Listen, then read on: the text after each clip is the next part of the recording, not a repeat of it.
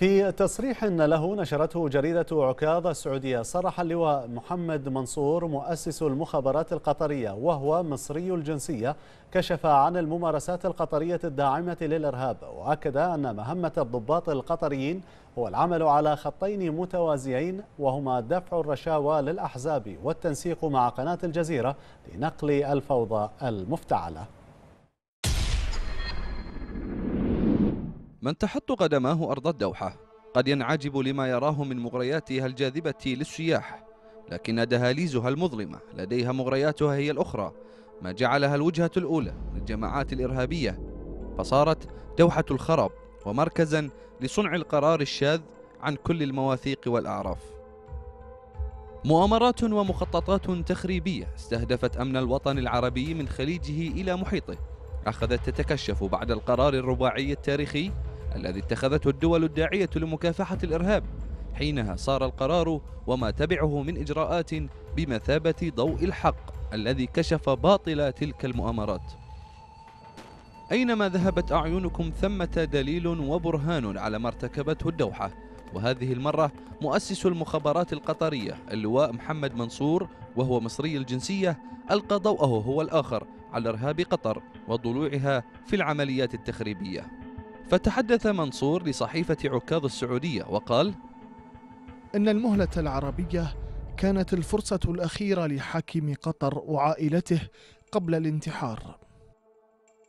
مطالب الدول الأربع ليست صعبة أو مستحيلة والغرض منها أن تطمئن الشعوب العربية لجارة تدعى قطر لكن حكومتها فضلت عصابة الإرهاب الدولي على الجميع واستكثرت على السعودية ومصر وبقية الدول العربية الهدوء والاستقرار.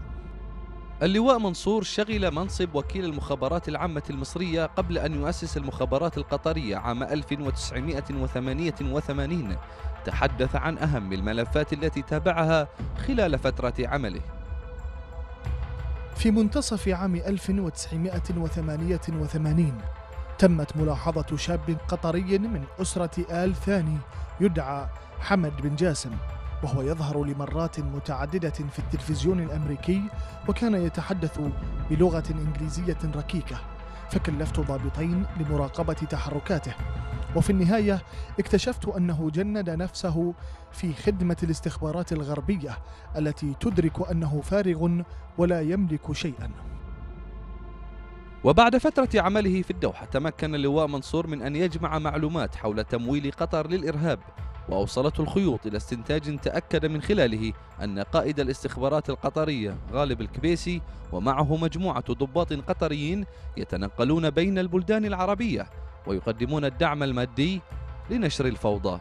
هنا تيقنت أن مهمة الضباط القطريين هو العمل على خطين متوازيين وهما دفع الرشاوى للأحزاب ومنظمات الإرهاب في تلك الدول والتنسيق مع قناة الجزيرة في تحديد نقل الحدث فور وقوعه.